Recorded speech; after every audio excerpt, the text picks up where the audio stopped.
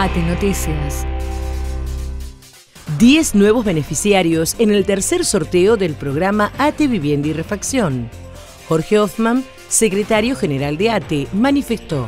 Efectivamente, 10 nuevos beneficiarios, tres de ellos de la ciudad de Rosario, Santa Fe, uno del Hortondo, otro de Las Rosas, con lo que bueno, estas 10 eh, oportunidades o soluciones habitacionales se reparten en toda la provincia todos los miércoles cinco planes de refacción o ampliación y cinco eh, planes de vivienda.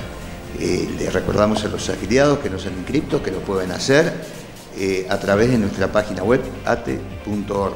Y por otra parte, para los compañeros y compañeras de Rosario, recordarles que está en marcha la construcción de dos edificios, uno en Boulevard Seguí y otro en Fragata Sarmiento, que entre ambos totalizan 32 departamentos para ser otorgados a quienes fueron beneficiarios y para quienes serán beneficiarios en el futuro. Inscripción abierta a cursos a distancias de ATE, segunda edición.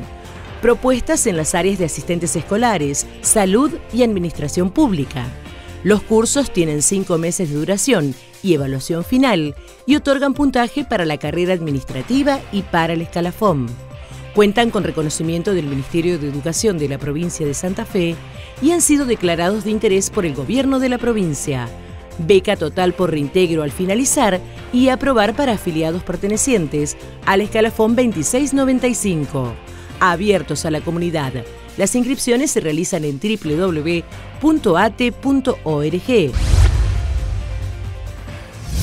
Servicio de médico a domicilio y emergencias. Es un beneficio gratuito para los afiliados a ATE, pertenecientes al escalafón 2695 y afiliados a ATE Mutual. El área de influencia del Departamento de la Capital es para las localidades de Rosario, Fray Luis Beltrán, Firmat, San Lorenzo, Villa Gobernador Galvez, Granadero Baigorria y Venado Tuerto. Agenda el número 0810 777 8733.